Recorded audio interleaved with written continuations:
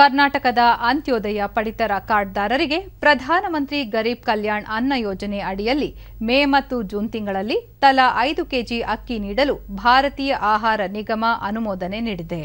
ಈಗಾಗಲೇ ರಾಜ್ಯ ಆಹಾರ ಮತ್ತು ನಾಗರಿಕ ಸರಬರಾಜು ಇಲಾಖೆ ಉಚಿತ ಧಾನ್ಯವನ್ನು ಪಡೆಯುವ ಪ್ರಕ್ರಿಯೆ ಆರಂಭವಾಗಿದ್ದು, ಗೋದಾಮುಗಳಿಂದ ಒಂದು ಕೋಟಿ ನಲವತ್ಮೂರು ಲಕ್ಷ ಕೆಜಿ ಅಕ್ಕಿಯನ್ನು ವಿಲೇವಾರಿ ಮಾಡಲಾಗಿದೆ.